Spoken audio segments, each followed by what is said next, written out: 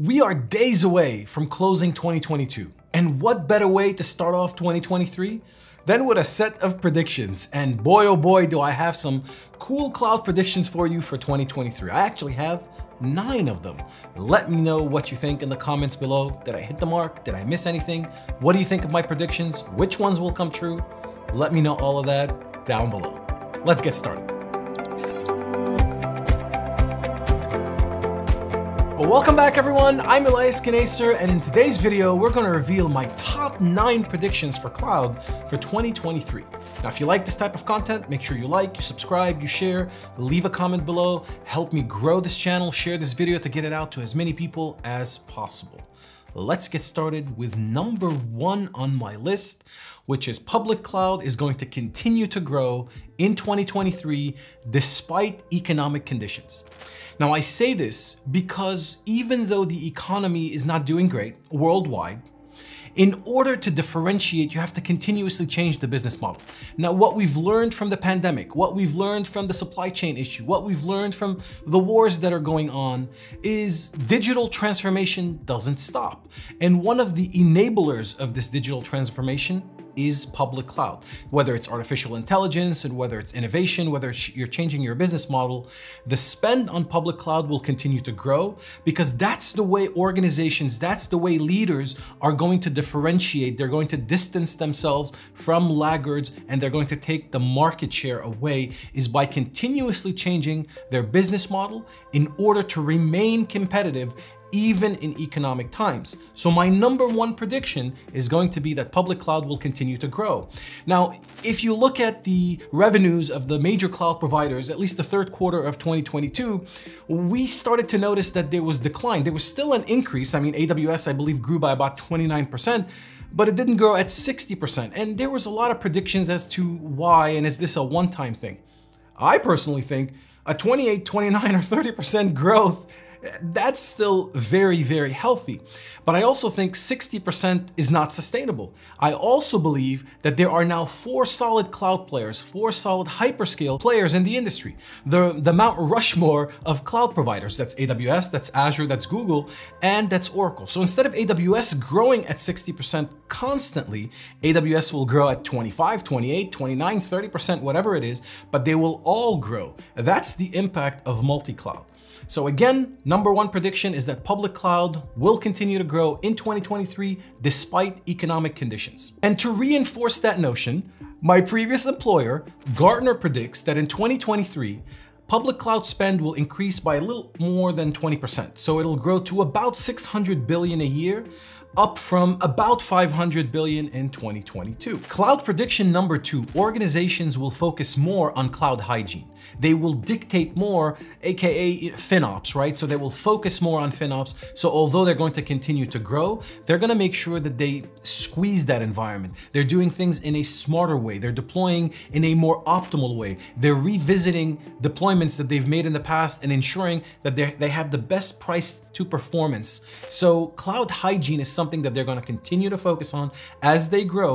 In order to grow, they're going to continue to uh, improve and invest in FinOps and continue to do cloud hygiene throughout. And to be honest with you, this should be a an ongoing prediction. This should never stop. It's a prediction now just because of the economic times, but that doesn't mean that when the economy is doing better that we should stop doing optimization. Cloud optimization is something that needs to happen all the time, not some of the time. Number three, AI or artificial intelligence is everywhere and AI is everything. Now, prediction number one is that public cloud is going to continue to grow in 2023. One of the ways it's going to continue to grow is because of artificial intelligence. Now, if you think that AI is limited to large business and large organizations only, you would be mistaken. Take a business like mine, a small business, I'm a research company, I've got a YouTube channel. I have to start adopting AI tools in order for me to survive, in order for me to compete. Now, there are new AI tools that will, for example, help me create thumbnails, very quick thumbnails. There are AI tools that will help me write the description. It's not going to be 100%, but it's going to shave off time so I'm able to produce more content a lot quicker. And this isn't just technology businesses, right? So again, most of you know that my dad owns a restaurant. So AI for my dad's restaurant, for example, I'll give you a perfect example of that. He has an online presence, a website, e-commerce website, where he sells products online. One of the things that we're going to introduce in 2023 is an AI chatbot we get a lot of questions that are sent by email or people that call on the phone to ask basic questions. If instead of calling, I can have an AI chatbot respond to those questions immediately, that should translate into more sales. Why, you know, somebody might not want to write an email. They might not find the email. Somebody might not want to call and ask the question. Why should I have potential loss of sales. Instead, I'm gonna make sure that the questions they need are at their fingertips by enabling something like an AI chatbot. All of these things at a small scale and at a large scale are mostly going to be deployed on public cloud providers. So again, what's going to lead this public cloud spend for the most part is going to be driven by AI. Number four on the list is cyber risk insurance. Organizations will take cyber risk insurance more seriously. Now in 2022, I covered cyber risk insurance in great detail. I'll leave a link to a playlist up here. We did a podcast with Allianz and Google Cloud that was packed with information on what's going on in the industry. I did two videos on cyber risk insurance. One talking about the industry in general and why it's important to have cyber risk insurance. And two was a demo with Google Cloud on how they're modernizing the underwriting process, how they're helping the underwriting process for cyber risk insurance. If you haven't watched these, they're fantastic. I absolutely invite you to watch them.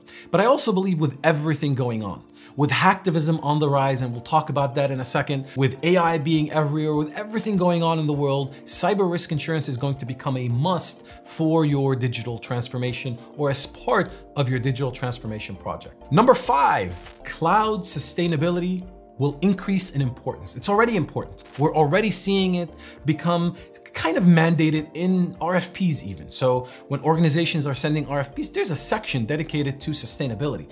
And that will only increase moving forward. Organizations will even take that even more seriously. So sustainability is definitely something to watch. It's definitely something that's going to be important in 2023 and beyond. And it's not just the US, it's the US, it's Europe, and it's going to slowly spread around the world to become something that organizations are aware of and something that they're making decisions based on. Number six on the list is hacktivism.